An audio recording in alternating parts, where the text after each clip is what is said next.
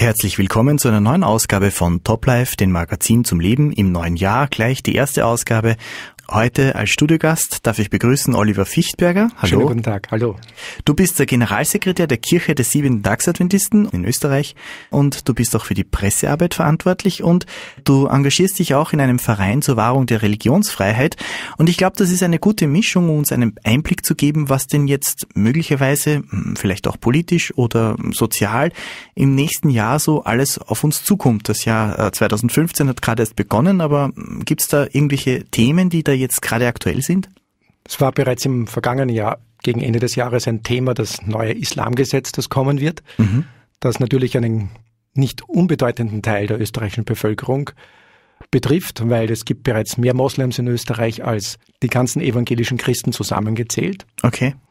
Und ein weiteres Gesetz, das auch interessant ist, das auf uns zukommt, ist das sogenannte Fortpflanzungsmedizingesetz, was sehr viel mit der Art und Weise zu tun hat, wie man sich grundsätzlich dem Leben gegenüberstellt. Auch das haben wir mit großem Interesse beobachtet und als Kirche sogar eine Stellungnahme dazu abgegeben. Mhm. Also du gibst auch Stellungnahmen ab, das ist ein Teil deiner Arbeit.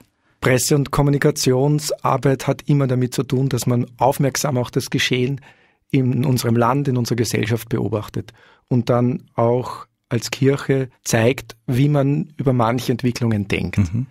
Ich denke, es ist wichtig, dass man nicht einfach nur so das Ganze an sich vorbeirauschen lässt, mhm. sondern auch sagt, das finden wir gut, das finden wir nicht so gut. Irgendwo auch, um eine gesellschaftliche Verantwortung zu übernehmen, um auch zu sagen, diese Entwicklung unterstützen wir und in einem anderen, anderen Bereich, wo es für uns problematisch erscheint, auch mal zu sagen, Moment, äh, lasst uns da bitte gemeinsam in die Tiefe denken. Ist das mhm. wirklich gut?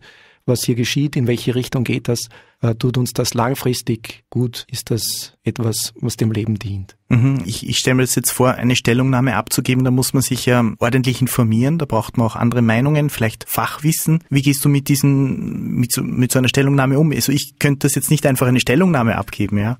Ja, das ist gar nicht einfach. Mhm. Und zwar, weil die Stellungnahmen manchmal mit dem politischen Geschehen zu tun haben oder meistens mit dem politischen Geschehen zu tun haben. Gerade in dem konkreten Fall, was das Islamgesetz angeht und auch das Fortpflanzungsmedizingesetz, beide Themen waren eigentlich sehr kurzfristig. Das bedeutet, dass man nicht sehr viel Zeit hat, sich in das Ganze hineinzudenken. Da muss man natürlich dann auch Fachleute heranziehen und sagen, wie siehst du das? Wie schaut das aus? Mhm. Von dem fachlichen Hintergrund her. Zum Beispiel beim Fortpflanzungsmedizingesetz hat es gerade einmal eine Begutachtungszeit von etwa drei Wochen gegeben. Mhm. Das Thema kommt in die Medien, ist plötzlich da. Und dann ist es ja so, das wissen viele Österreicher nicht, dass im Grunde genommen jeder einzelne Österreicher zu jedem Gesetz, das ihm die Begutachtung kommt, eine Stellungnahme abgeben kann. Okay. Das heißt, der kann sich den Gesetzestext durchlesen, kann sagen, was er gut findet und was er nicht gut findet. Aha. Im konkreten Fall, was das Fortpflanzungsmedizingesetz angeht, habe ich den Vorteil, dass ich einen Freund habe, der ein pensionierter Frauenarzt ist und okay. mit diesen ganzen Änderungen und den Inhalten hier sehr vertraut ist. Den habe ich gefragt, ob er mir hier hilft, eine Stellungnahme zu erstellen. Darüber hinaus habe ich auch noch eine ähm, interessante Erfahrung gemacht, dass ich seit einiger Zeit in einem Verein mitarbeite, der sich Lebenskonferenz nennt. Das mhm. ist so ein Netzwerk aus verschiedenen Kirchen, aber auch Vereinen, Einzelpersonen, Medizinern, die sich für den Schutz des Lebens engagieren. Mhm. Mhm. Die sehen das Thema Abtreibung eher kritisch. Die sehen das Thema Euthanasie mit großer Distanz. Und dort werden diese Themen auch ausführlich diskutiert und dort bekommt man auch sehr viel Hintergrundinformation her. Ohne ein solches Netzwerk ist es fast nicht möglich, innerhalb so kurzer Zeit etwas auch halbwegs Vernünftiges zu so einem großen, wichtigen Thema zu sagen. Und daher bin ich froh, dass ich da nicht auf mich allein gestellt bin, wenn es darum geht, eine solche Stellungnahme zu geben, die dann natürlich auch kirchenintern noch mit unseren Überzeugungen zusammenpassen muss. Ja, das wollte ich jetzt auch gerade irgendwie ins Rollen bringen. Das heißt, diese Personen helfen dir vielleicht die Details besser zu verstehen und dann in einen wie soll ich sagen, in einen Kontext zu bringen oder wie soll ich das verstehen? Weil ähm, der Arzt wird jetzt nicht sagen, das ist gut oder schlecht oder wir sind jetzt dafür oder dagegen oder ähm, sei doch dafür oder sei doch dagegen, weil jeden, egal wen ich frage, der hat eine andere Meinung. Da geht es eigentlich darum, dass man eine eigene Meinung abgibt. Wie kommt man dann zu dieser Meinung, wenn man jetzt diese Informationen hat? Diese Stellungnahme geht ja nicht nur in die Richtung, dass man sagt, man ist dagegen, sondern es geht eher darum, Details, Probleme im Detail anzusprechen. Mhm. Da geht es auch nicht darum unbedingt, dass man das jetzt einfach verdammt, wenn man, wenn einem etwas nicht gefällt, sondern mhm. dass man Fragen dazu stellt, dass man auf mögliche Konsequenzen von Entscheidungen hinweist, die im Grund, im Zuge solch eines Gesetzes dann auch getroffen werden. Mhm, mh. Und was das für Folgen haben kann. Also es geht eher darum, in einen Diskussionsprozess einzusteigen mit so einer Stellungnahme. Man kann auch durchaus erwähnen, was man gut findet. Ja, mhm. diese Stellungnahmen dann, die kann man alle dann lesen. Und wenn man da, manche findet man, die sind sehr positiv und manche findet man, die sind eben sehr kritisch. Es geht daher einfach darum, einen Beitrag zur Diskussion zu liefern. Ich finde hier jetzt ein kleines Spannungsfeld. Zum einen vertrittst du eine Kirche, zum anderen äh, geht es um Fortpflanzung. Hm, da hat es doch vielleicht ein bisschen Diskrepanz. Nicht Fortpflanzung und Kirche, ich weiß nicht, das passt irgendwie nicht so auf den ersten Blick nicht so auf ein Blatt Papier. Naja gut, das ist ein Thema, das uns alle betrifft, weil gäbe es Fortpflanzung nicht, wären wir nicht auf die Welt gekommen. Das also das, das Leben einer Kirche hat immer auch mit dem normalen Leben zu tun. Es mhm. geht ja nicht nur um geistliche Dinge. Und gerade als Kirche der siebenten Tagsadventisten ist uns der Schutz des Lebens, die Bewahrung aber auch der menschlichen Würde einer der Grundwerte, den wir verteidigen für den wir glauben, dass die Bibel auch steht und auch die, die Pflege und die Erhaltung der körperlichen Gesundheit, das ist uns sehr, sehr wichtig. Es gibt ja durchaus auch Kirchen, die ein sehr distanziertes Verhältnis zur Medizin, auch zu den Fortschritten der modernen Medizin haben. Das ist bei uns eher nicht der Fall. Wir stehen den Ergebnissen von der medizinischen Forschung sehr positiv gegenüber, mhm. wo es um den Erhalt der Gesundheit geht, auch die Wiederherstellung. Ich möchte dann nur erwähnen, dass wir in Amerika zwei führende Universitäten haben, Loma Linda University zum Beispiel oder mhm. das Florida Hospital. Das sind zwei Einrichtungen, die weit über die Grenzen, die Landesgrenzen hinaus bekannt sind mhm. und ihren Beitrag auch zur medizinischen Forschung leisten. Trotzdem sehen wir die Änderungen, die jetzt gerade im Prozess sind, ein neues Gesetz zu werden im Bereich der Fortpflanzungsmedizin schon als sehr problematisch an. Mhm. Ja, also ich habe das Gesetz oder den Entwurf des Gesetzes ja jetzt noch nicht gelesen, aber vielleicht kannst du einen Einblick geben, was äh, wird denn hier jetzt als Gesetz vorgeschlagen und wo sind die Problematiken? Das, was gegenüber dem bisherigen Gesetz neu ist, ist, dass auch zwei in einer Lebensgemeinschaft lebende Frauen einen Anspruch haben auf künstliche Befruchtung. Mhm. Das heißt, da sie ja selbst keine Kinder bekommen können, weil dazu von der Natur immer noch ein Mann und eine Frau vorgesehen sind, sich sozusagen über eine Samenspende, und das kommt jetzt auch neu dazu, überhaupt ganz neu dazu, dass auch für Paare, die keine Kinder bekommen können, aber auch lesbische, lesbische Paare, die keine Kinder bekommen können, so etwas wie eine Eizellspende erlaubt wird.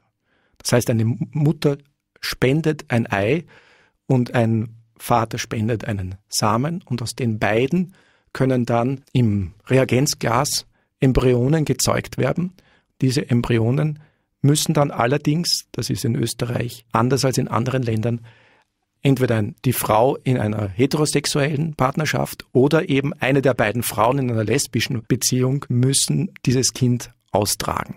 Eine Leihmutterschaft mhm. ist nach wie vor verboten. Mhm. Das ist sicherlich ein sehr positiver Aspekt des Gesetzes. Warum Leihmutterschaft problematisch ist, können wir vielleicht später noch ansprechen. Wenn ich jetzt mich da so hineindenke, also es ist dann so, äh, wir haben ein lesbisches Pärchen, zwei Frauen und dann eine dritte Frau, von der das Ei kommt und einen Mann, der den Samen spendet und äh, dann sind dann vier Elternteile. Richtig. Äh, biologisch gibt es nur zwei Eltern. Okay. Sozial gibt es noch zwei andere Eltern. Das ist so wie bei einer Adoption auch. Wenn mhm. ein Kind adoptiert wird, hat es leibliche Eltern, aber die sozialen Eltern, so bezeichnet man das, sind dann die, in deren Obhut es aufwächst. Mhm. Klingt jetzt schon recht komplex, muss ich sagen. Klingt schon recht komplex. Ist es auch. Und genau da setzt auch unser Kritikpunkt ein, dass wir sagen, gibt es tatsächlich so etwas wie einen Anspruch auf Kinder um jeden Preis? Mhm. Umgekehrt, glaube ich, kann man schon sagen, ein Kind hat, soweit das irgendwie möglich ist, ein Anrecht auf seine Eltern.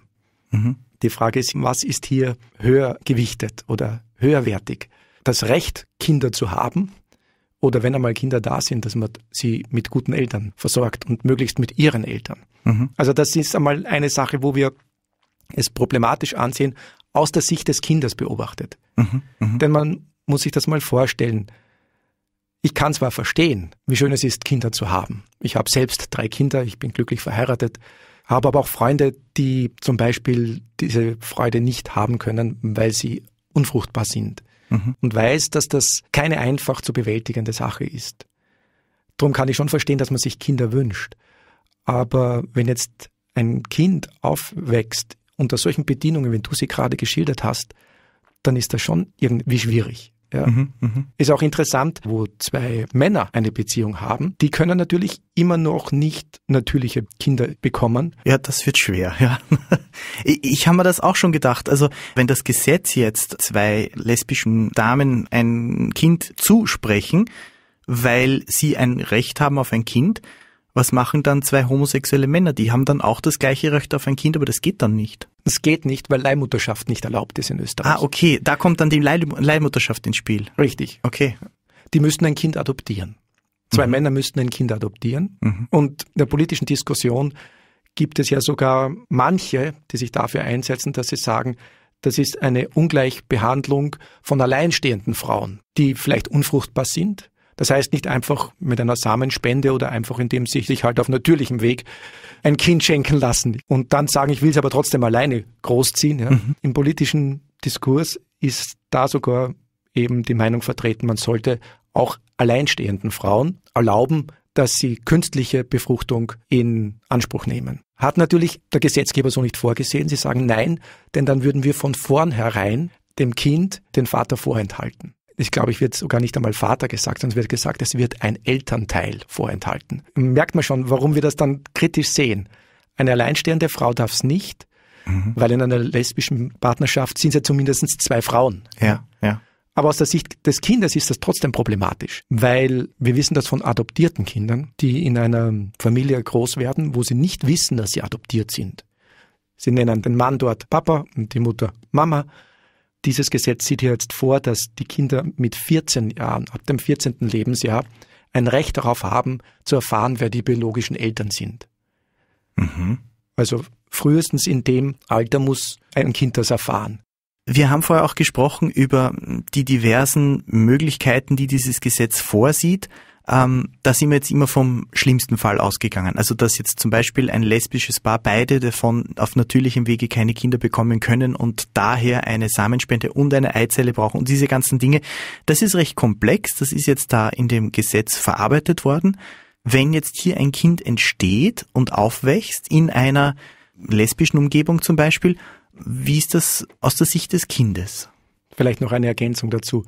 Eine der beiden Frauen muss fruchtbar sein weil sonst kann, es gibt noch keine Leihmutterschaft in Österreich, ist ja nicht erlaubt. Okay, aber es funktioniert dann trotzdem nicht ohne Eizellenspende, oder wie? Richtig, genau, wenn sie okay. zum Beispiel da etwas nicht funktioniert. Also austragen muss es eine der beiden Frauen können? Richtig, genau. Aber der Rest kommt von woanders? Der Rest kann von woanders kommen. Okay. Ja. Und damit ist er natürlich problematisch aus der Sicht des Kindes. Wobei ich da ganz vorsichtig sein möchte. Ich möchte nicht zwei Frauen absprechen, dass sie nicht wunderbare Eltern sein können dass sie sich liebevoll um Kinder kümmern können. Mhm. Aber man weiß das aus den Erfahrungen von Kindern, die das schon erlebt haben, die mit zwei Müttern aufgewachsen sind, dass die halt natürlich sehr früh bemerken, Moment mal, meine Freundin hat aber einen Mann und eine Frau als Mama und Papa und ich habe nur Mama und Mama. Mhm. Und das lässt nicht jedes Kind völlig unbeeindruckt. Mhm. Ich habe hier einige Berichte von Kindern, die schildern, wie sie das erleben, dass es bei ihren Freunden anders ist als bei ihnen. Ich lese da zum Beispiel einen ganz kurzen Satz vor. Meine Erfahrung mit zwei Müttern. Ich liebe meine beiden Mütter sehr, aber es vergeht kein Tag, an dem ich mir nicht einen Vater wünsche. Kinder wie ich, die anders sind, haben es schwer, egal wie zusagend oder tolerant die Gesellschaft ist. Es gibt Männer in meinem Leben, die Freunde meiner Mütter, aber das ist nicht dasselbe. Ich werde das einem Kind niemals antun. Mhm. Mhm.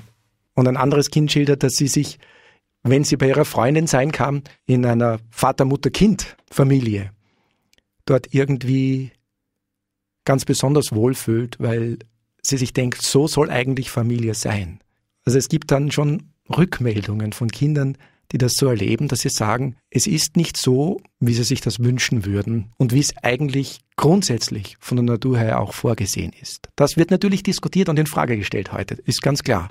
Mhm. Was technisch möglich ist, macht man heute. Wir glauben, so wie Paare, die auf keinem Weg ein Kind bekommen können, irgendwann die Grenzen sozusagen des Natürlichen auch akzeptieren und trotzdem ein erfülltes Leben führen können, dass ein Leben mit Verzicht auch ein erfülltes Leben sein kann. Mhm. Wo man nicht nur um die eigenen Wünsche durchzusetzen, das Leben von jemandem anderen sehr entscheidend prägt, möglicherweise auch belastet. Offensichtlich gibt es also, ähm, wenn man den Berichten jetzt äh, da liest und wenn man die verfolgt, auch Kinder, die das erlebt haben, die in ihrer Entwicklung dann doch irgendwo zu einem Punkt kommen und sagen, Moment, äh, bei mir ist etwas anders. Und das eine Kind hat er, glaube ich, erwähnt, Kinder, die anders sind, so wie ich. Also stellt sich eigentlich aus einem sozialen Umfeld selbst heraus, oder? Kann ja. man das so sehen? Es ist interessant, ich lese vielleicht noch ein paar Sätze aus einem anderen Bericht eines Kindes. Mhm. Das sagt hier, die meiste Zeit verbrachte ich im Haus meiner besten Freundin. Ich war viel mit ihrem Vater zusammen, weil ich selbst nie einen hatte, und es war echt ein toller Typ. Bei ihnen daheim hatte ich meistens das Gefühl, ich selbst sein zu dürfen. Das Kind drückt das jetzt so aus. Meiner Erfahrung nach sind homosexuelle Eltern in gewisser Weise egoistisch.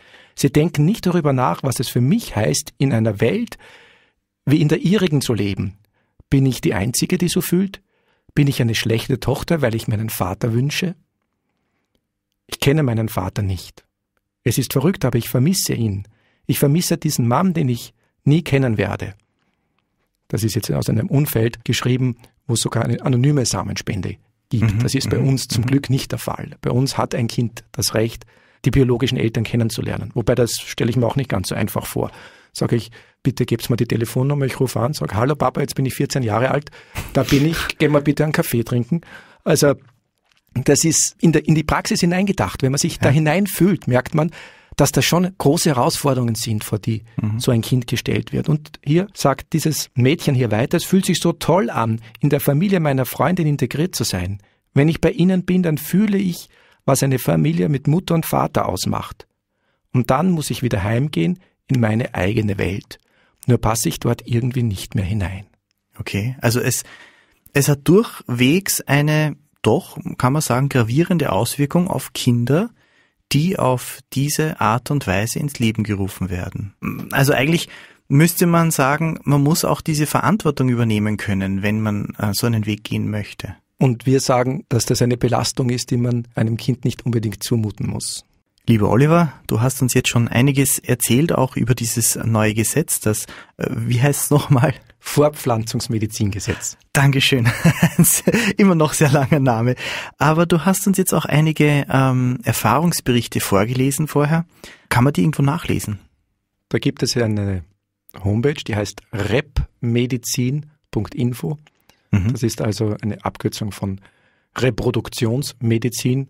Jeden Tag werden da zwei neue Geschichten von Betroffenen der Fortpflanzungsmedizin also veröffentlicht. Erfahrungsberichte. Erfahrungsberichte, ja. Mhm. Wobei es da nicht nur um das Thema geht, bei gleichgeschlechtlichen Eltern aufzuwachsen, sondern auch die Identitätskrise, in die ein junger Mensch gerät, wenn er merkt, dass die Eltern, mit denen er aufgewachsen ist, nicht wirklich seine Eltern sind. Mhm. Das Eben heißt, im Falle einer Eispende ja. und Samenspende es reicht auch, wenn nur eine Samenspende zum Beispiel ist, mhm, mhm, die von jemandem anderen kommt. Es macht das Ganze immer kompliziert. Es entstehen Dreieck, Viereck.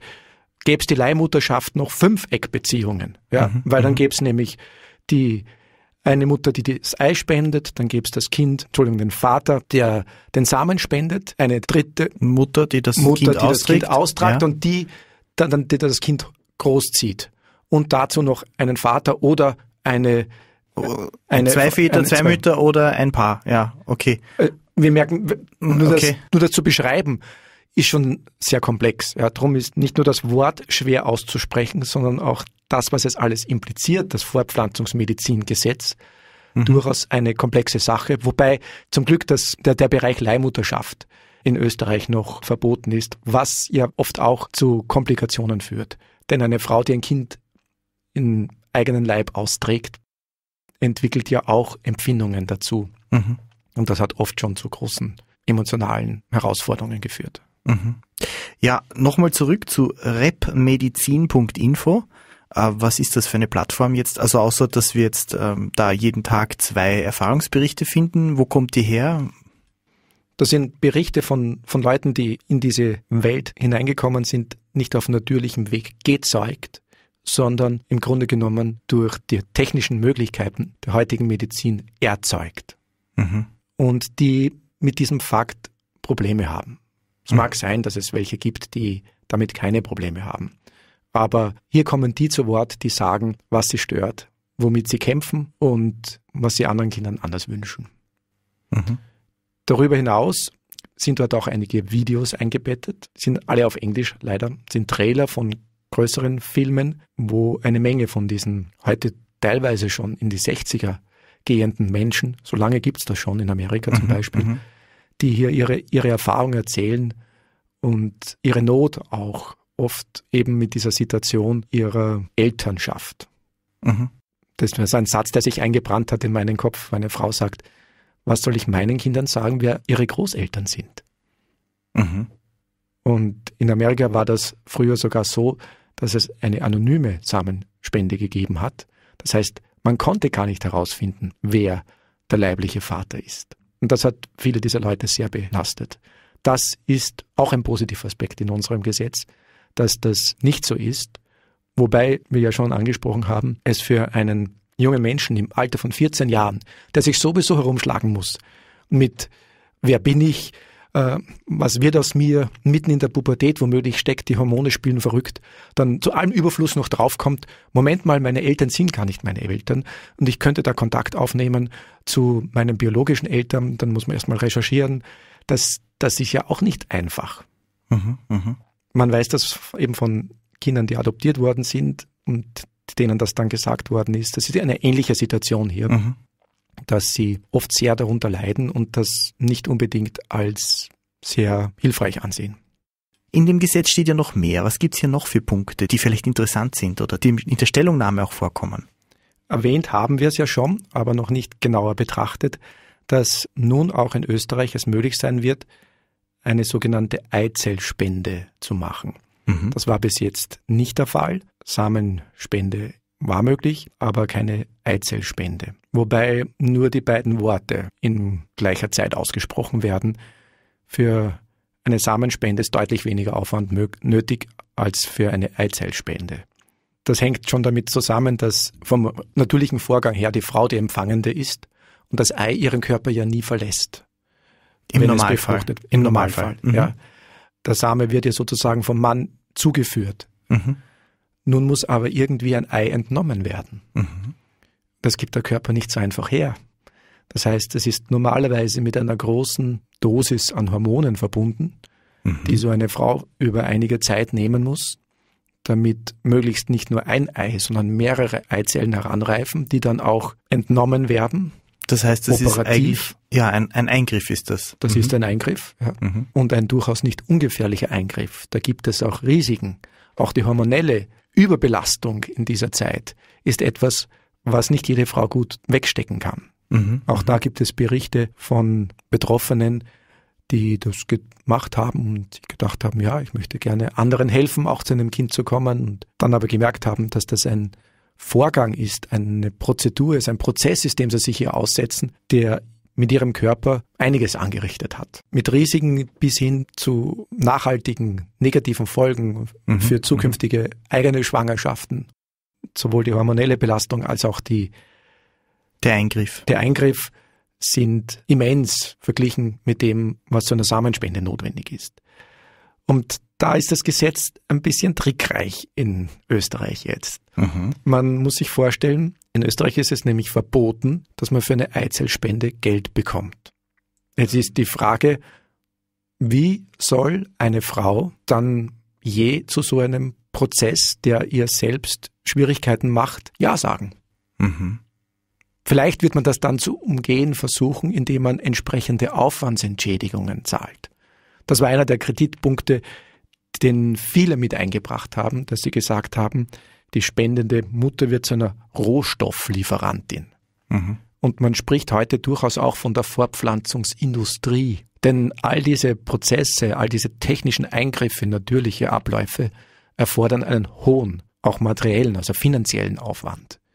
Da braucht es Maschinen, da braucht es Labors, da braucht es hochspezialisierte und qualifizierte Ärzte und Personal. Das alles kostet eine Lawine an Geld. Mhm. Und darum ist es nicht von der Hand zu weisen, dass man hier von einer Fortpflanzungsindustrie spricht, auch wenn sie sicherlich vielen Menschen schon Freude gemacht hat. Also ich glaube, wir sollten immer vorsichtig sein, auch wenn wir uns jetzt kritisch zu manchen Dingen äußern, ist es doch so, dass man nicht, nur weil es auch Extreme gibt, das Kind mit dem Bade ausschüttet und sagt, das darf man überhaupt nicht machen. Das soll überhaupt nicht gehen. Aber gerade hier im Bereich eben der Eizellspende ist das schon eine hohe Herausforderung für die Mutter. Und wir können uns das irgendwie gar nicht vorstellen, wie das funktionieren soll, ohne den entsprechenden finanziellen Anreiz. Und dann ist man genau wieder dort, dass man möglicherweise auch eine wirtschaftliche, finanzielle Notsituation einer Frau ausnutzt, mhm, mh. weil wer wird es sonst machen? Nur aus reiner Nächstenliebe? Vielleicht. Mhm. Da ist sogar die Idee jetzt hier, dass man sagt, ja, um eben das zu unterbinden, dass dafür Geld bezahlt wird, damit das eben keine Industrie wird, sollte das vielleicht irgendein naher Verwandter sein. Mhm. Aber das stelle ich mal wieder konsequent und logisch weitergedacht auch nicht gerade einfach vor. Wenn dann die Schwester meiner Frau zum Beispiel meiner Frau ein Ei spendet, weil sie keine Eier produzieren kann, aber schwanger werden kann sie dann, das funktioniert, dann ist die Schwester die biologische Mama, meine Frau wäre die soziale Mama und ich wäre der Papa. Mhm. Wenn das Kind dann irgendwann mal mitkriegt, dann sind Konflikte fast programmiert. Mhm. Mit der sozialen Mama ist sie nicht einverstanden, dann gehe ich halt zu meiner biologischen Mama. Mhm. mhm. Vor allem, wenn es so eng im Familienverband ist. Wo, wo das dann auch durchwegs vielleicht leichter bekannt wird oder leichter dem Kind, ähm, wo das Kind das möglicherweise leichter mitbekommen kann? Zum Beispiel. Können wir schon vorstellen, ja. Und da merken wir, wie, wie, wie komplex das ganze Thema ist. Wie sehr es dann auch jeden Beteiligten hier tief involviert. Das ist nicht etwas, wo ich was kaufe und dann gebe ich es halt wieder zurück, wenn es mir nicht gefällt oder das ist etwas, wo man oft, wenn man die Entscheidungen in diese Richtung trifft, noch gar nicht abschätzen kann, was auf einen zukommt. Und das sagen viele, die hier zwar vorher beraten worden sind, alles, aber der Wunsch, ein Kind zu bekommen, ist dann oft so groß, dass er alles überschattet und der ganze Traum, ich möchte ein Kind haben, erst später sich in ein Trauma verwandelt. Lieber Oliver, du hast uns jetzt schon einige Inhalte von diesem Gesetz nähergebracht. Das ähm, scheint recht komplex zu sein. Wir haben schon versucht, in dem Gespräch auch manche Details zu beleuchten, aber das ähm, ist uns, glaube ich, gar nicht so erfüllend äh, gelungen. Da müssten wir wahrscheinlich viel mehr Sendezeit dafür opfern, aber die Zeit haben wir halt leider nicht. Wir haben nur eine Stunde am Sonntag. Aber es gibt noch einen weiteren Punkt. Das ist genau so schwierig auszusprechen wie das Fortpflanzungsmedizingesetz an sich, nämlich die Präimplantationsdiagnostik. Okay. Kurz PID genannt. Gut, PID. Ah, das ist leichter. Eine Abkürzung. Ja. Worum geht's jetzt da in dieser Präimplantationsdiagnostik? Und da geht's eigentlich um den Vorgang, dass in einer künstlichen Befruchtung eine Eizelle und eine Samenzelle zusammengebracht werden. Und da werden mehrere befruchtet weil die Chancen, dass auf diese Art und Weise eine echte Schwangerschaft entsteht, nachdem der Embryo dann wieder eingepflanzt wird in den Mutterleib, sind eher gering. So zwischen mhm. 25 und 30 Prozent.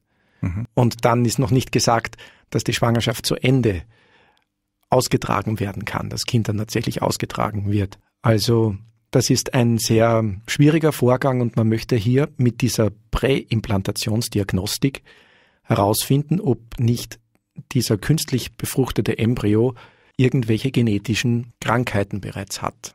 Mhm, mh. Die Argumentation ist die, man will einer Frau eine aufgrund einer Krankheit aus ihrer Sicht notwendige Abtreibung ersparen. Das mhm. ist auch eine, ein gewaltiger Eingriff in das Leben einer Frau. Und darum macht man diese Sortierung, diese Selektion schon vorher. Und darum wäre auch der Begriff Präimplantationsselektion eigentlich viel richtiger. Mhm.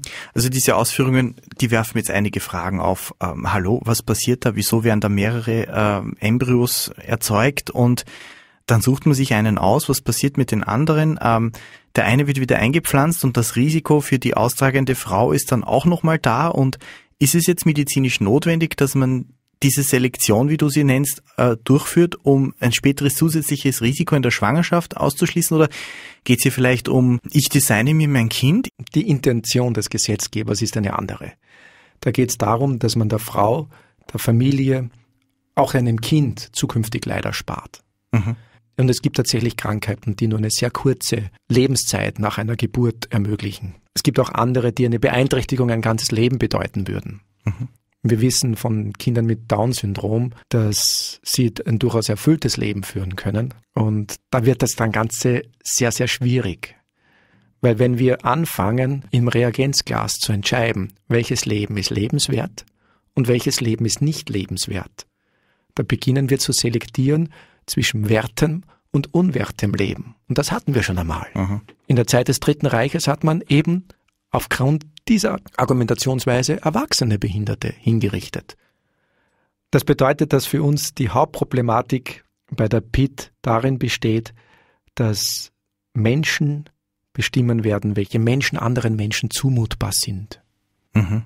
Abgesehen davon haben wir auch die heterosexuellen Paare, die auf natürlichem Weg Kinder bekommen, manchmal die Herausforderung, dass sie ein Kind dann bekommen, das Krankheiten hat und es gibt trotzdem ein erfülltes Leben, auch wenn man mit Krankheit durchs Leben geht, weil sonst müssten wir ja alle aussortieren, sobald es schwierig wird.